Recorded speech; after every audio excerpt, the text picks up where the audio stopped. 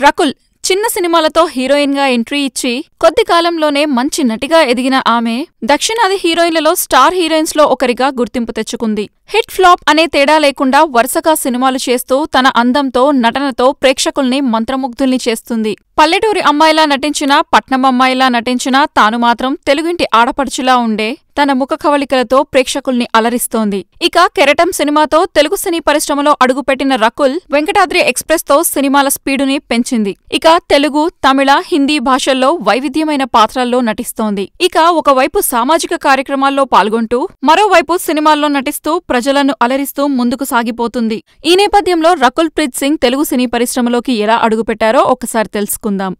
రకుల్ ప్రీత్ సింగ్ పంతొమ్మిది వందల తొంభై అక్టోబర్ పదవ తేదీన ఢిల్లీలో పంజాబీ దంపతులకు జన్మించింది. దీంతో ఢిల్లీలోనే పెరిగింది రకుల్ ప్రీత్ సింగ్. చదువు విషయానికొస్తే తను ఆర్మీ పబ్లిక్ స్కూల్లో టెన్త్ క్లాస్ వరకు చదువుకుంది. ఆ తర్వాత ఈమె జీసస్ అండ్ మేరీ కాలేజ్లో ఇంటర్లో ఎంపీసీ పూర్తి చేసింది. ఇక ఢిల్లీ యూనివర్సిటీ నుంచి బీఎస్సీ మ్యాథ్స్లో పట్టా పొందింది. రకుల్ ప్రీత్ సింగ్ తండ్రి పేరు కుల్వీందర్ సింగ్ తల్లి పేరు రాజేందర్ సింగ్. తండ్రి ఆర్మీలో పనిచేసేవారు తల్లి గృహిణి. రకుల్కు అమన్ ప్రీత్ సింగ్ అనే సోదరుడు కూడా ఉన్నాడు. అయితే రకుల్ దక్షిణాదిలో స్టార్ హీరోయిన్గా ఎదగడంతో తన తమ్ముని కూడా సినీ పరిశ్రమలోకి తీసుకొచ్చింది. కాగా ఇటీవలే తన తమ్ముడు అమన్ హీరోగా ఒక సినిమాకు రకుల్ ప్రీత్ సింగ్ క్లాప్ కొట్టింది. ఇక ఆ సినిమా శరవేగంగా షూటింగ్ జరుపుకుంటోంది. అయితే రకుల్ చిన్నప్పటి నుంచి క్రీడాకారిణి. ఆమెకి ఆటలు ఆడడం అంటే చాలా ఇష్టం. దీంతో జాతీయ స్థాయి గోల్ఫ్ క్రీడాకారిణిగా ఎదిగింది. ఇక స్కూల్లో ఉన్నప్పుడు అనేక టోర్నమెంట్స్లో గెలిచింది. అలాగే గుర్రపు స్వారీ భరతనాట్యం యోగా కూడా చేస్తుంది. ఇక క్రమం తప్పకుండా టెన్నిస్ స్విమ్మింగ్ బాస్కెట్బాల్ సాధన చేస్తుంది. అలాగే కరాటేలో బ్లూ బెల్ట్ వరకు సాధించింది. తన అభిమాన హీరో షారుఖాన్ అలాగే అభిమాన క్రీడాకారిణి సైనా నెహ్వాల్ అని చెబుతుంది. ఇక రకుల్ ప్రీత్ సింగ్ కుటుంబం విద్యావంతులు. దీంతో రకుల్ ప్రీత్ చిన్నప్పటి నుంచే క్రమశిక్షణతో పెరిగింది. ఎప్పుడూ చదువు ఆటలపైనే దృష్టి పెట్టేది. తండ్రి ఆర్మీ ఆఫీసర్ కావడంతో తన దేహం దృఢంగా ఉండడానికి రకుల్ చిన్నప్పటి నుంచే జిమ్ చేసేదట. ఒకవైపు సినిమాలు చేస్తూ మరోవైపు సామాజిక కార్యక్రమాల్లో పాల్గొంటూ మహిళలకు అండగా నిలుస్తుంది. ఇక తనకు హైదరాబాద్ అంటే ఇష్టమని హైదరాబాదీ బిర్యానీ అంటే మరింత ఇష్టమని చెబుతుంది. అంతేకాకుండా హైదరాబాద్లో తనకంటూ ఒక సొంత ఇల్లు కొనుక్కుంది రకుల్. అలాగే హైదరాబాద్లోని గచ్చిబౌలి జూబ్లీహిల్స్ మరియు వైజాగ్లలో ఎఫ్ ఫార్టీ ఫైవ్ అనే పేరుతో జిమ్ సెంటర్లను ప్రారంభించింది. రకుల్ ప్రీత్ సింగ్ చదువుకుంటున్న సమయంలో మిస్ ఇండియా పోటీల్లో మిస్ ఇండియాగా ఎంపికైంది. అలాగే Miss fresh face Miss talented Miss beautiful eyes Miss beautiful smile టైటిళ్ళను అందుకుంది. అయితే అదే సమయంలో తనకు హీరోయిన్ అవ్వాలనే కోరిక ఏర్పడింది. ఈ నేపథ్యంలో ఇంటర్ అయిపోయాక రకుల్ రెండు వేల తొమ్మిదిలో గిల్లీ అనే ఓ కన్నడ సినిమాలో హీరోయిన్గా చేసింది.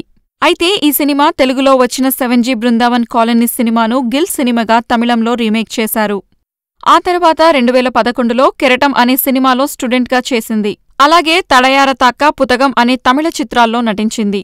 అయితే ఈ సినిమాలు మాత్రం రకుల్కి తమిళంలో ఎక్కువగా గుర్తింపు తీసుకురాలేదు.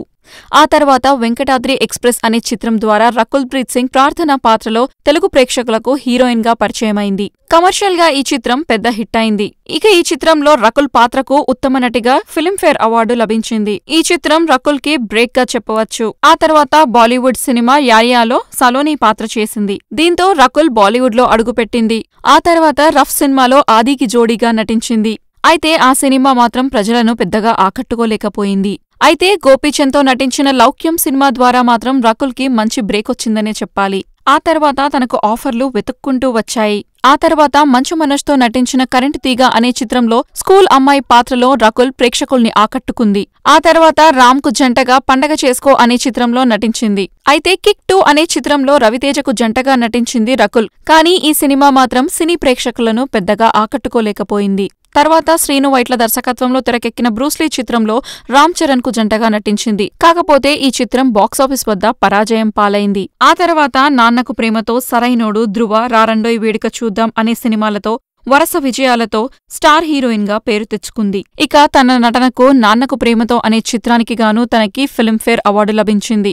ఆ తర్వాత విన్నర్ అనే చిత్రంలో సాయిధరం తేజ్కి జంటగా నటించిన ఈ చిత్రం మాత్రం ప్రేక్షకుల్ని పెద్దగా ఆకట్టుకోలేకపోయింది.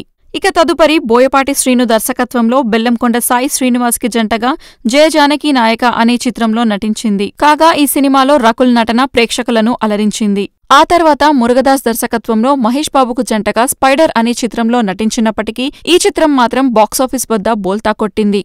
ఆ తర్వాత తమిళం నుండి తెలుగు భాషలోకి రీమేక్ అయిన కాకి సినిమాలో కార్తీకి జోడీగా నటించింది. కాగా ఈ సినిమా తెలుగు తమిళ్ళో హిట్ కొట్టింది. ఆ తర్వాత బాలీవుడ్లో అయ్యారే అనే సినిమాలో నటించింది. ఎన్టీఆర్ కథానాయకుడి చిత్రంలో బాలకృష్ణ సరసన శ్రీదేవి పాత్రలో స్టెప్పులేసింది. అయితే రకుల్కు తెలుగులో అవకాశాలు రావడం లేదు. దీంతో బాలీవుడ్ మరియు తమిళంలో దృష్టి సారించింది. మొత్తానికి రకుల్ దక్షిణాదిలో స్టార్ హీరోయిన్గా పేరు తెచ్చుకుంది. అచ్చం తెలుగమ్మాయిలా ఉండే తన సౌందర్యం యువతను ఆకట్టుకుంటుంది. తన నటనతో ప్రేక్షకుల్ని అలరించి ఎన్నో అవార్డులను సొంతం చేసుకుంది రకుల్. ఇక రాబోయే రోజుల్లో రకుల్ మరిన్ని సినిమాల్లో నటించి తన అభిమానులను అలరించాలని మనస్ఫూర్తిగా కోరుకుందాం.